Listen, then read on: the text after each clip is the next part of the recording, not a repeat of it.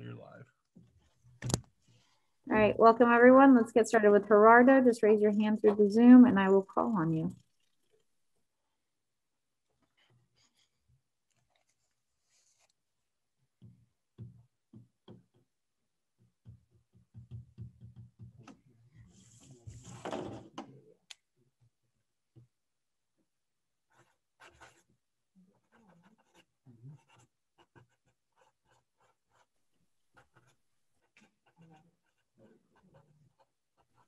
Maria Torres, The Athletic. Hey, Rada, how are you? Hello, how you nice doing? Good, nice to meet you. Uh, I guess I just wanted to first uh, get your impressions of what it's been like just coming back to, to Nationals camp and what it compares to 2019. I can't, I can't hear you. Excuse can you hear me now? Yes. What what does this camp compare like uh, compare to, to 2019? So far? Life, be happy. no, it's um, I'm I'm happy to be here. You know, like it's first time, first time in spring training, uh, first time coming to the this beautiful camp, and like I say, I'm enjoy. Um, I'm happy to be be, be by see the guy again, and uh, the only difference is like he's working hard, like we're working every time. Does it seem like the same kind of like the group that you did join in 2019? They look like they look like uh, it's hard to say right now because you just only have it one week. But all the group right now is uh, great guys. They now they, they do it together. They try to bring um uh like good energy from here. So things close. It's close, but it's too early to say that.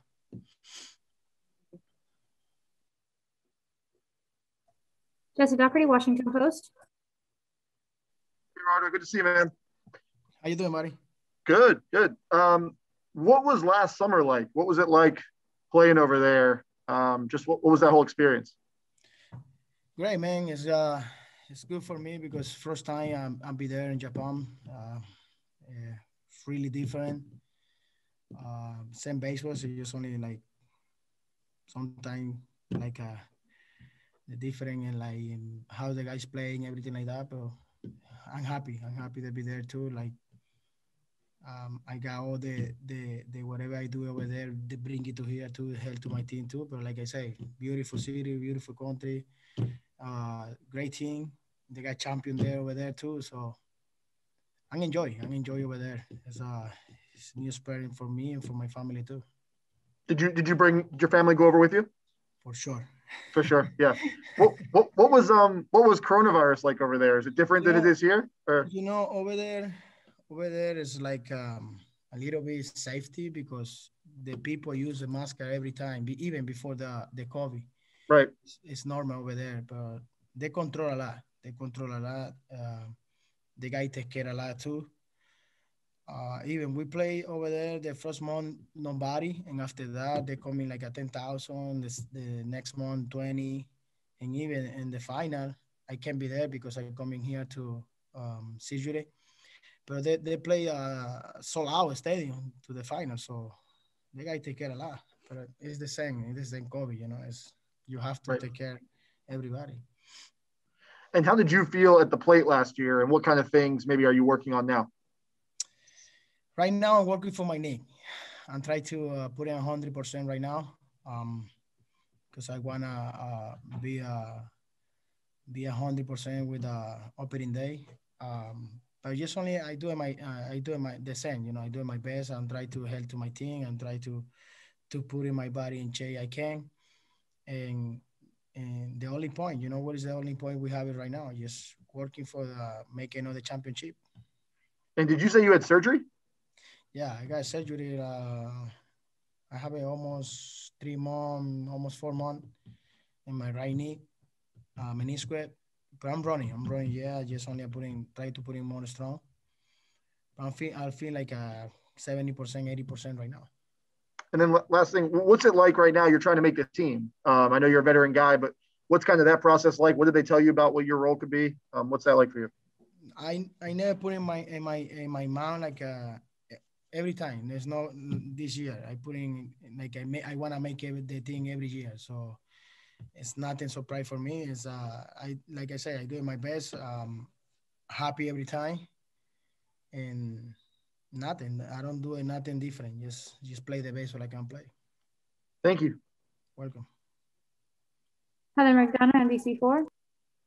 Hey Gerardo, good to see you. Um, and while I'm sure you're looking ahead to this season, uh, it's hard not to think about the impact you had on the team, on DC, on this fan base. Now that you've had obviously a year or so to kind of maybe reflect on on those times, what what comes to mind when you think of the baby shark and, and just your teammates and you know the impact that you had and how this city embraced you and this team? What comes to your mind when you think of those emotions? First one, um, happy, you know, I'm happy uh, even for the fans, for you guys from DC, even everywhere, uh, because uh, everything I do, I do it just natural, nothing, nothing special, just for one point, just for make a championship in 2019. And I'm, I'm happy. I'm happy. I want to see the people, the fans over there again with the same energy, when the, the same um, adrenaline and more important the the support for my team that's the, the more important you know but like i say um, i want to bring in the baby shark again i want to bring in the thunder on again and i hope so they bring a good energy for all my teammates. Did that did that surprise you back then that it just this little thing that you did i mean just to think of how big it became and, and frankly it still is did that surprise you at all I think it's a surprise for everybody, you know, because uh, when I'm back to Japan, there's uh, this is explosion to All the, the fans they have a baby shark, they, they, they do it everywhere. So it's I think it's around the world. Uh, like you say, something small, uh, coming big one. It's hard. It's hard to explain. Like I'm feeling it more when I see the ring. They put in baby shark inside the ring. Uh, it's amazing, you know but I think it's for everybody because all you guys they do it uh, together and they do it the best. Jess Camerato, MLB.com. Hi there, nice to meet you. Nice to meet you too. Uh, what did you miss the most about the Nationals? my teammates, my teammates. You know, um, even when I play over there last year, uh, they called me every time, and I saw the game every time too because it's a different time. So I try to put in in my phone uh, only the national game because it's hard. One, it's not one year. It's a couple more, couple more. We we play. We, we got championship and we fly to Japan. So, but it's me. I miss all, all my team, man. Like the dance, the whatever we do every time together. So we miss a lot. I was going to ask you, who do you still talk to from the 2019 team? Everybody for everybody. They, they have it one day we have it like a Zoom video Zoom live something like that. And the guy waiting for me because like I say, it's a different hours, different timing. And they call me every time, you have to there, you have to there, you have to be in the zone. If you know you're not there, we, don't, we don't do nothing. So, but every time we got a great communication because uh, I don't think like a, that's my teammate. We we close to like a family. So we keep it on, we keep it talk a lot every time, and uh, it's hard. It's hard to say no.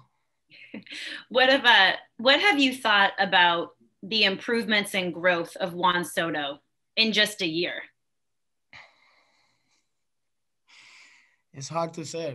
Every time, every time as a special player. I don't want to talk about personality because we know how personality they have it. But about player, it's all star. It's a Hall of Fame guy. So nothing surprising for me. Whatever he do, a new one or uh, talent, nothing surprising. Thank you. María Torres, The Athletic. ¿Le, ¿Le molesta si le hago la pregunta en español? No, todo lo contrario. Ok. eh, eh, siguiendo el tema de, de Juan Soto, eh, ¿sientes como si fuera un mentor para él? Mira, de verdad que yo lo siento más que como un hermano, como un amigo, eh, eh, ya que tengo, soy bien cercano a su familia. Y pues si soy un mentor, me, me, siento feliz ya porque todos los consejos que le doy trato de hacerlo lo mejor que pueda. Pero algo sí te puedo decir, es un, un pelotero, una persona muy madura. no es mucho lo que hay que decirle, ya que él es muy inteligente haciendo sus cosas y cuando tú ves un atleta de esa calidad y con esa mentalidad que tiene, las cosas se hacen más fácil. ¿Te sorprendió de, tan de qué tan maduro es? ¿Disculpa? ¿Te sorprendió que él es tan maduro? Mira, sí me sorprende porque este, sabemos toda la,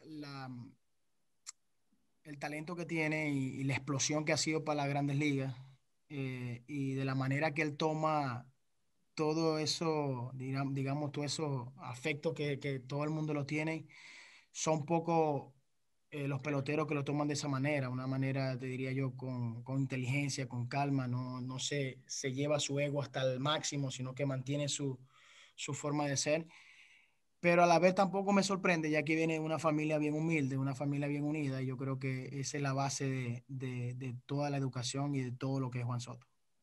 Eh, ¿Tienes algún compañero de equipo que a lo mejor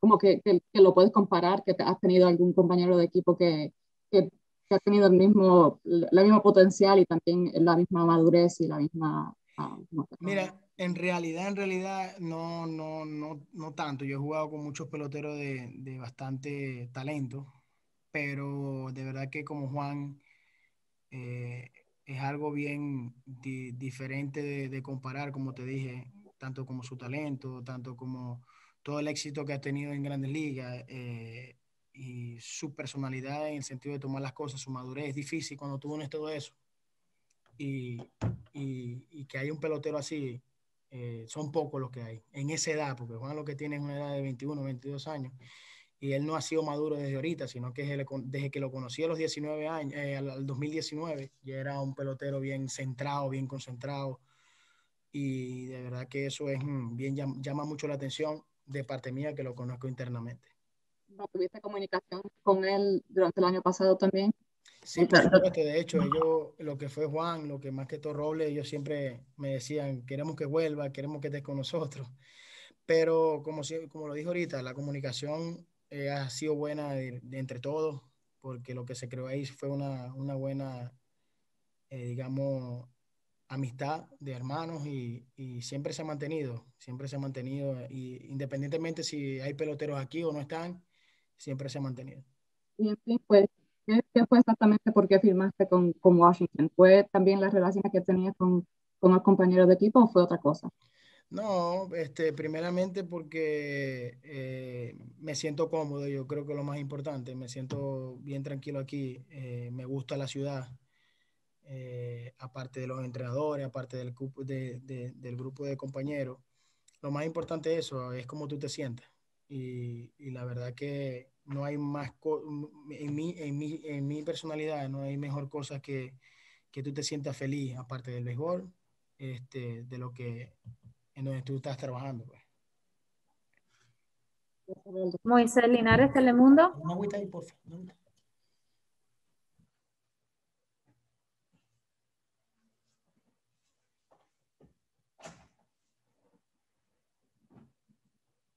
Moisés. Gerardo, ¿cómo, estás? Bien, bien, gracias. Sí, seguro. Gusto volverte a ver. La última vez que platicamos estabas en Japón a punto de, entrenar con otro equipo en, en, el otro lado del mundo. Bueno, aquí estamos a punto de terminar ahora.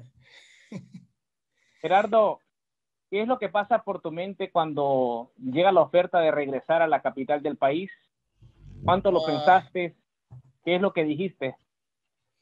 Pues felicidad, felicidad, este, de nuevo, activar de nuevo eh, la emoción y las ganas de, de, de volver a, a, lograr el título, ya que ya llegamos al primero, Dios mediante ser segundo, ya que la emoción es bien buena. ¿Qué es, lo que, ¿Qué es lo que has notado que es diferente de este equipo de los nacionales en estos pocos días que has estado con, con uh, los Nats en West Palm Beach? Algo diferente, un ambiente diferente. Hay muchas caras diferentes este año. Sí, sí, hay muchas caras, pero de verdad que ahorita es difícil decirte eh, que, cuál es la diferencia, ya que eso apenas es un mes. eh, una semana que tenemos eh, todos juntos, pero en realidad el ánimo es el mismo. Yo creo que este, no es mucho la diferencia y, y, ya lo que se ha sembrado, yo creo que eso se mantiene, que es lo más importante. Ya el que llegue, el pelotero que llegue nuevo se está integrando y, y ya más o menos sabe cómo es el mecanismo que hay aquí. Y finalmente, ¿cuál es la, la meta de Gerardo Parra para esta campaña? ¿Qué es lo que te has propuesto tú personalmente para este 2021 con el equipo de los Nacionales de Washington? ¿Y qué te ha dicho David Martínez sobre tu rol o posible rol este año? Bueno, primeramente este, estar al 100% de salud y lo primordial es hacer el equipo.